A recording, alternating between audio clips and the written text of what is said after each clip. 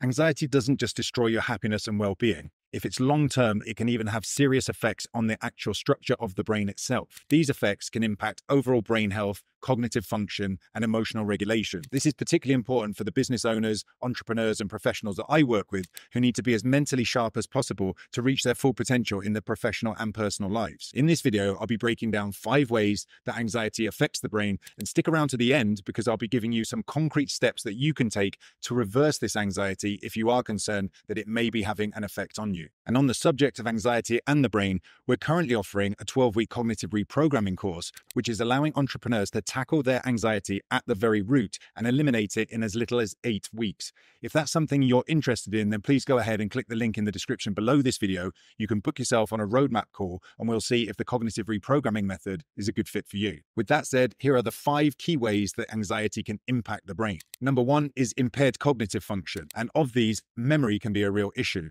And as I'm sure you can relate, when your mind is full of anxiety, you have all kinds of intrusive negative thoughts flying around. It's very hard to process things very clearly. And you may be taking in bits of information, but it's really hard for you to recall them or to store them accurately because there's so much interference and clutter going on in your mind with all these anxious thoughts and worry. The second part of impaired cognitive function is difficulty concentrating. And I'm sure you can relate that when you've got a lot of worry and anxiety in your mind, it's so hard to actually focus on the task at hand. Your mind keeps getting pulled off topic with all these negative, intrusive thoughts and worry that we have going on. So it's very hard to focus in. It's very hard to do deep work. It's basically impossible to ever enter the flow state because you have so much clutter and interference from all these worrisome thoughts that are going on in your head. The second way anxiety affects the brain is it can actually change the structure of the brain. And I know this might sound quite scary and worrying because it certainly was to me.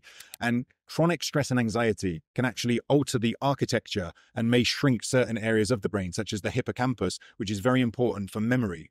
In my own country of the UK, London taxi drivers are known to have a very large hippocampus because they have to memorize the map of London streets. So they know their way around every little side street. And because of this, their hippocampus is enlarged. Well, when you have anxiety, the opposite of this is true. It actually shrinks down the hippocampus, which is why you may have found that you have trouble with your memory because you are so anxious. Aside from memory, the hippocampus is also very important for emotional regulation.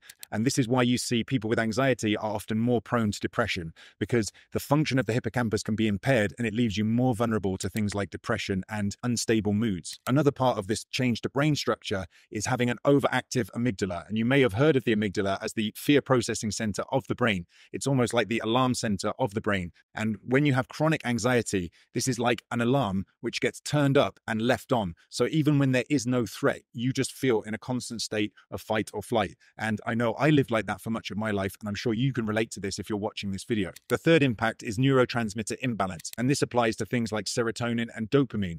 And as I'm sure you know, both of these neurotransmitters are very important for regulating mood, influencing how good we feel, how much we want to pursue a goal, and the pleasure that we receive from actually attaining that goal. And what you'll see in sufferers of chronic anxiety is that these levels are imbalanced and it leads to things like irritability, mood swings, and low mood. In serious cases, it can even lead to anhedonia, and this is something I experienced myself, and it means that you're basically unable to feel any pleasure. Your mood is completely flat. Things that would normally bring you a rush of dopamine or enjoyment, like a bar of chocolate or achieving a goal, just have no impact on you. So it's a feeling of just total emotional flatness. There is no joy to life at that point. Another part of this neurotransmitter imbalance is an excessive production of cortisol. And I'm sure you've heard of cortisol as a stress hormone in the body, and I've talked in other videos about how certain things in the body can be catabolic, and cortisol is a catabolic stress hormone, which means if you have excessive levels of this in your system constantly, it can break your body down on a cellular level. And it also breaks down parts of the brain, such as the hippocampus, as we've talked about,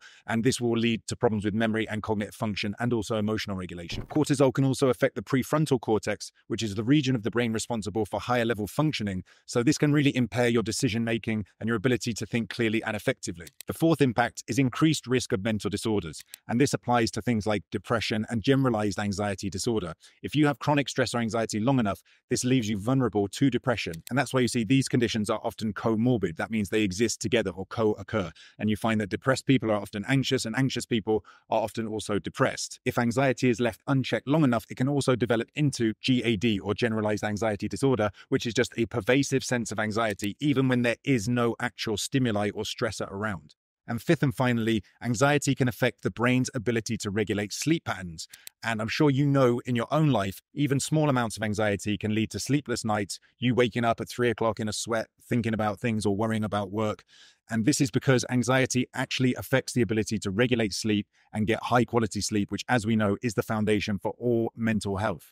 And this can actually also create a vicious cycle where lack of sleep leads to increased cortisol, which leads to increased anxiety, which then leads to lack of sleep. And then that also leads to impaired cognitive function. And this is the syndrome you see in people where they feel like everything is just spiraling out of control. They can't get a good night's sleep. They wake up more anxious. They can't think clearly at work. Things seem to be going down the pan. But those are the five ways that anxiety can impact the brain. And I hope I haven't painted too gloomy a picture. It shouldn't be gloomy because all of this is reversible if it's caught early enough. And in in order to reverse this, if you feel that you're struggling with these problems and you're concerned that your anxiety may be having an impact on your brain, then please go ahead, click the link in the description below this video. We can jump on a roadmap call and we can discuss the cognitive reprogramming method, which is helping anxiety sufferers eliminate anxiety at the root cause by dealing with the issues that they have in their mind and the faulty software that they're running. And we can discuss on the call if this would be a good method for you and if the program would be a good fit. So by all means, go ahead and click that link.